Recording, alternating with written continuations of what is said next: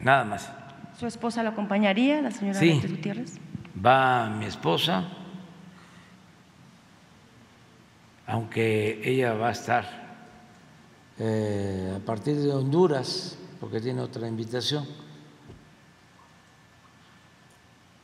La están invitando a la Casa Blanca o a Washington, precisamente por la celebración del 5 de mayo.